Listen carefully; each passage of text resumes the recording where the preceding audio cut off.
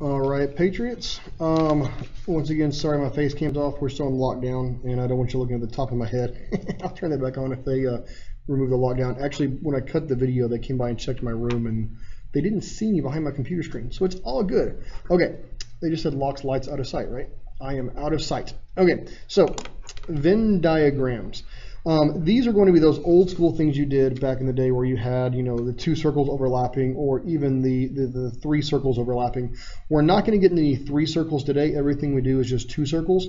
But I wanted to start framing how this can be helpful, especially when you're looking at probabilities of unrelated events.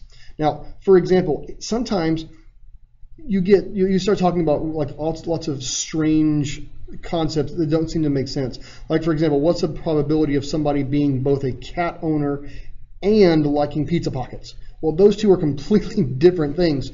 Um, but bizarrely enough, yes, I, I worked at a um, um, at a software company where I was developing um, software for convenience stores, and you did start seeing all of these bizarre correlations like that that the convenience store owners and especially their marketing teams were interested in.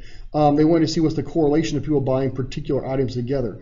Like for example, the one that was really really intriguing was what are the probability of somebody coming in and buying beer and something else because beer is the highest seller at a convenience store, one of their highest grossing items. So if they can figure out, you know, what people commonly buy alongside beer, then if you put that display right next to the beer case, you're more likely to increase your sales of that things or of that of that secondary item. It's called cross selling, um, also called affinity sales.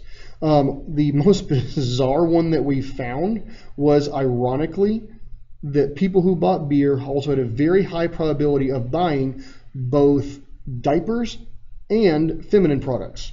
Now, the, the, psychology behind that, we actually hired a psychologist to figure this out. That makes no sense at all. Um, what it was is that is that um, wife, mama, whoever would ask the husband to go down and buy a pack of diapers or go buy a pack of tampons for her, and in order to to save face, he would walk in, walk over to the aisle, spend a long time looking at whatever beer he was going to pick out, pick out the correct the, the, beer that he wants, and he'd scoot by, pick up the box of the other stuff, walk up, buy it as fast as he could, and walk out. We called that the man card item. but um, um, so you know all these weird weird things of unrelated items coming together actually does have a lot of real world application and I spend a lot of time working on those things. I use Venn diagrams all the time in my job at PDI.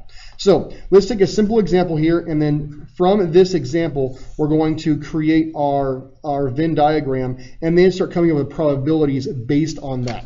So um, I gave a survey to seniors at EVHS. Um, by the way, this is a fictitious survey. I didn't actually do this.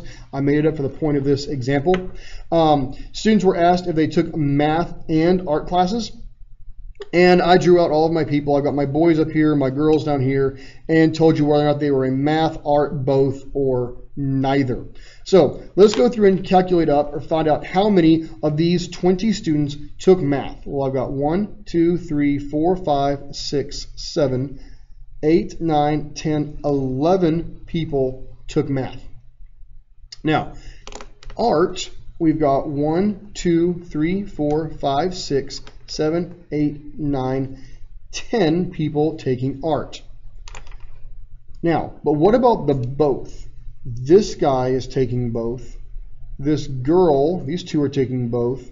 And this girl is taking both. So we've got one, two, three, four of them taking both classes. And, you know, seniors up off period sometimes looks like this girl and this girl have no math or art. So we've got two that fit into that category. Okay, now we're going to draw a Venn diagram based on all of this information. Um, now, here's what we have to keep in mind. First off, traditionally when we drew Venn diagrams, we do stuff like this. Um, now we're going to be putting a box around it. This box is called, depending on what, um, on uh, kind of what school of thought they come from, it's called either a space or a universe. I prefer space over universe sample space S because universe just seems too broad to me, but I just want to let you know that that is in the lingo there somewhere. This is going to encompass everybody that I'm talking about in this particular survey. So this entire space should encompass all 20 of these people. When I'm done, I should have exactly 20 people inside of this box. So we're going to create a box for math, sorry, a circle for math, and a circle for art. This one is math, this one is art. Now the key to making these is that you want to always do the overlap first. So I've got four people, remember these four, like this one, that were in both of them. So I've got four that are involved in both math and art classes. Now I can go through and see how many I need over in each individual circle.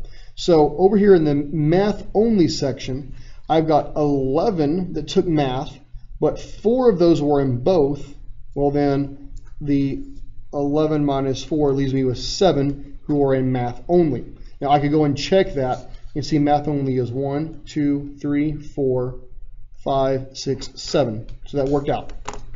Now, my art people, I had 10 total, but four were taking both, so I've got six over here for art. Art only. Now, let's check that out. One, two, three, four, five, six. That worked out.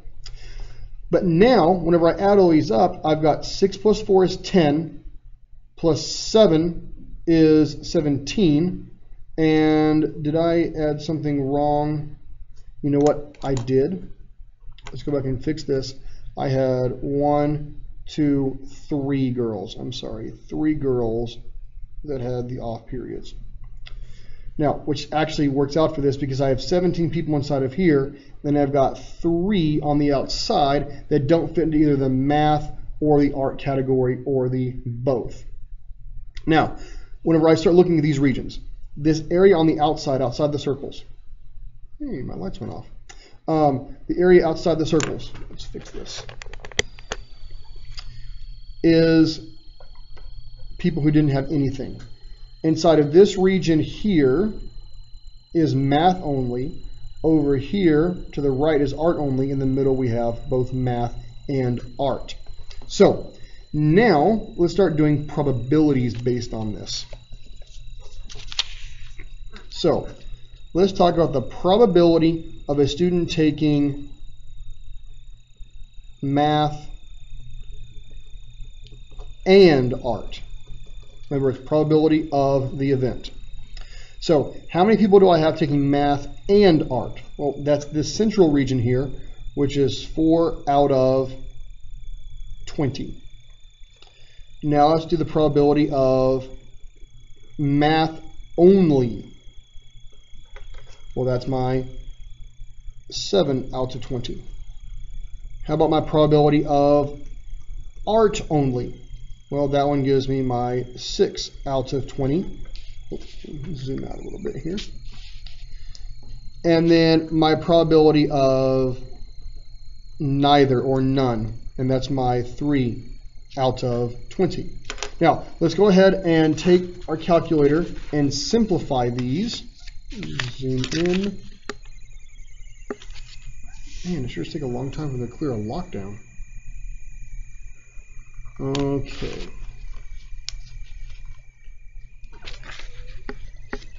All right. So 4 divided by 20 comes out to 0.2 times 100 is 20%. 7 divided by 20 is 0.35, which is 35%. 6 divided by 20 is 0.3, which is 30%. And 3 divided by 20 is 0.15, which is 15%.